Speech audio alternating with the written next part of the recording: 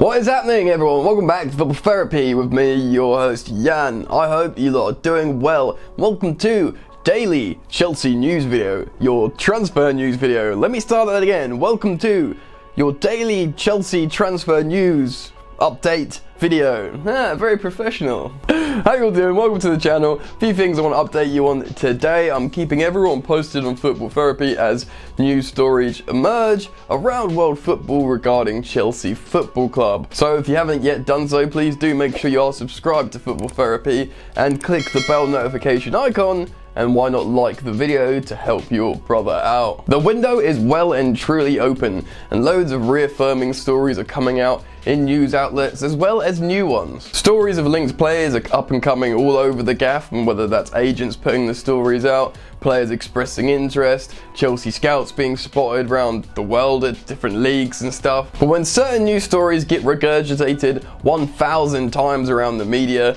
you know there's probably some truth to it. Chelsea, who have a lot of money to spend this January, who really do want to bolster all their efforts in absolutely securing Champions League football this season, which might be seen as overachieving for Frank Lampard this campaign, they're doing everything they can to help his cause with spending money. And apparently they've seen a stern bid of 34 million pounds for Lyon striker Moussa Dembele rejected. We'll talk about that in a moment. Outgoings from Chelsea Football Club, such as the left back situation, certainly Emerson, Marcos Alonso and stuff, discussions are going on. I imagine the most rapidly moving discussions are for Chelsea striker Olivier Giroud, who is desperate for a move. Giroud's been linked to high profile clubs such as Inter Milan, um, Atletico Madrid, which is huge, but also Premier League clubs, which might be easier for the Frenchman, such as West Ham and now Aston Villa to join up with John Terry and the gang. Bearing in mind, Aston Villa They've got a good team, they came up, they very much want to stay in the Premier League, but look like they're struggling, and they're many people's favourites to go down now.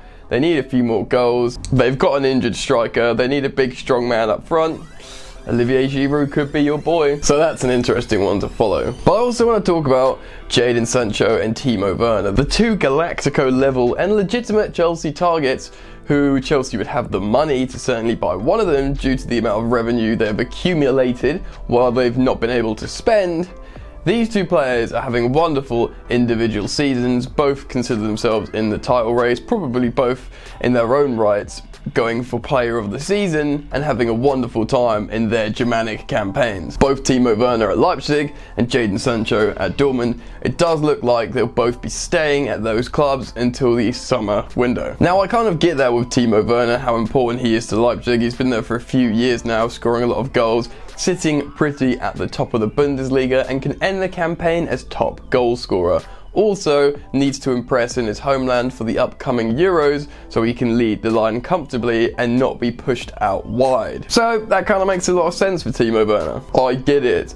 And to be honest, he, as well as RB Leipzig, probably understand completely how come the summer there'll be a deal done the club will make loads of money, he'll get some sort of high profile move, everybody wins. So with a striker, it's difficult. That's why in my last video yesterday, when I was talking about players like Gabriel Barbosa, who already, I think, finished their campaigns or at the end of their campaigns in South America, it's a lot easier to get these type of players than players that play in Europe. Now, when it comes to Jadon Sancho, it's again like a similar story to Timo Werner in terms of him having a wonderful individual season and helping his respective club to greatness this campaign.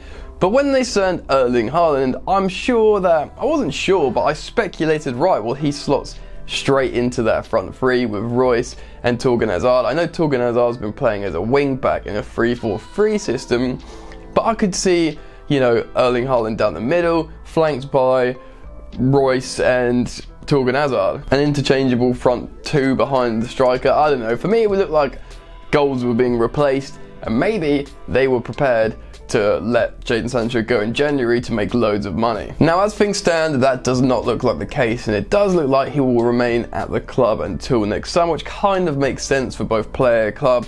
It just, you know, it's frustrating for potential buyers who would really like that super talent in their team right now to help whatever they're doing in their season. So, very, very unlikely, but we'll obviously keep you updated here on Football Therapy. Next up, he is injured at the moment, but probably not that long term. A lot of people are getting very, very serious about sniffing around Nathan Ake. Bournemouth are in big, big trouble at the moment, and I think they might get relegated. And although Nathan Ake has been a bit of a cult hero there and is probably their best player, he's think, probably thinking, right, time to get out of here. I can go to, no disrespect to Bournemouth, I can go to a club and you know maybe try and fight for top four, a domestic cup or something. So a lot of clubs are interested. Now of course Chelsea have the buyback clause for 40 million pounds, but also, clubs like Tottenham now are really interested alongside the likes of Manchester City, and I can understand why Pep Guardiola would be interested in Nathan Ake. So it's additional pressure on Chelsea Football Club regarding do they activate this buyback clause, because 40 million is, is still like a really good deal for a Premier League proven defender, especially when Bournemouth quoted Leicester 75 million pounds for him originally to sort of wave away their interest. Even if Nathan Ake puts in, say, a transfer request, they'll probably try and squeeze 50 plus for him to a club that does not have the right to activate a buyout clause. Whether he'd want to go to Tottenham, I'm not so sure. Maybe a club like City, though, we'll have to see. There's a very strong chance that Nathan Ake will move this January. Right, Italian news outlets have been reporting that Kalidou Koulibaly of Napoli will be available in January. For yes, you've guessed it, a world record fee for a defender. Now, it's been widely accepted over the last few years, or it would not be uncommon for if someone to, if you were to ask someone, right, who's the best two centre backs in the world, that person, if they know a lot about football and had a common opinion, they'd say, right, well, Virgil van Dijk and Kalidou Koulibaly. So you'd kind of understand, especially it being January as well, why it would be a world record transfer fee. 100 million is the price being banded around, and for me, I've talked about this before on football therapy, I'm not entirely sure it would be a good move for Chelsea. Sure, Chelsea have defensive issues, but really a lot of it most of the time is systemic, and they don't have bad, bad players in the bag.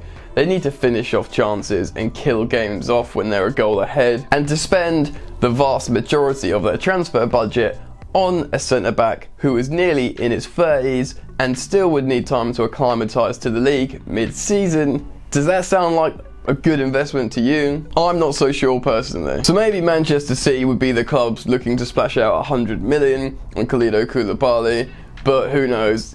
Obviously, Chelsea apparently needing a centre back it's, he's always going to be linked to Chelsea, let's be honest. But in reality, it's a different one because Nathan Ake is very, very good, but how much of an upgrade is he on Tomori, Zouma, and Rudiger? All decent Premier League centre backs. Certainly, Rudiger's meant to be very good, Tomori's meant to have a very, very bright future, and Zouma's meant to be like a decent level Premier League centre back. I mean, Christensen's very, very talented, but he certainly has his physicality flaws. So, to Chelsea spend the money, the argument for Nathan Ake is it's very, very good value, so they'd be inclined to do it and preventing him to going to Premier League rivals, like direct top four rivals as well. Still, I imagine Kalidou Koulibaly might move in January, but if it's something to do with Chelsea, I'll of course keep you updated. Right, Chelsea have apparently had their first bid for a striker a centre forward, officially rejected. £34 million for Lyon striker Moussa Dembele, once of Celtic, very, very highly thought of as a centre forward, scores a decent amount of goals, wouldn't necessarily be the starting striker at Chelsea, but could offer enough competition behind Chelsea's number 9, Tammy Abraham. Dembele is young and he's already into double figures in the league in France this season in a team that's not really competitive with PSG. 10 goals, and maybe he'd be interested in such a move. The reported bid of £34 million would probably sound about right, and quite a healthy starting bid from Chelsea Football Club. I can't imagine they'd go any more, but remember, this is going to be an inflated price regardless, due to it being January, and due to them being pretty desperate for a centre forward to offer their competition. I imagine they would table a second bid, but for how much more, I'm not so sure. Lyon did release a statement saying they have no interest in letting the striker go and they've only just got him and they want to build a team with him moving forwards and go away, anyone tabling bids, bye bye bye. But Chelsea have watched the striker for a long time and I'm pretty certain that they'll come back in for another bid and really test Lyon's resolve and be like, look, what if we give you all this? Or who knows, maybe offer Olivier Giroud the other way and so you get a striker as well, World Cup winner, scores goals, eh? It could happen. Chelsea have not been able to do business in the last transfer window and they absolutely will be doing bits now and making moves and they've got money in their pockets, they'll be strutting around, they'll be trying not to look desperate because they're in quite a strong position generally, but still they will be looking to do up to maybe three plays in, maybe four, who knows. Definitely three or four outgoings as well. Remember to swing by Football Therapy every single day and I'll keep you updated with all the news stories going around the media. I'll consolidate them and I'll express my opinions on certain ones that I find interesting to you guys. If you have enjoyed the content today guys, please make sure you do like the video and subscribe if you are new to the channel. Remember, if you want more content from yours truly, you can subscribe to Yan Plays. Link is in the top of the description, and you can follow me on social media at Football Yannick on both Instagram and Twitter. That's it from me, you lot. Make sure you enjoy the football. I'll see you later. You ain't so tough with that bad boy tuck. I'ma get it how I'm living, I'ma walk the walk. Outline my lines, I rap through thought. Body bag the verse, outlined in chalk. In my life, seen trouble, hustle on the double, silence on the trigger like my pick got a muzzle. Yo, chick like to guzzle, bad boy stay in trouble. I only love this paper, sorry I don't. I love me, baby.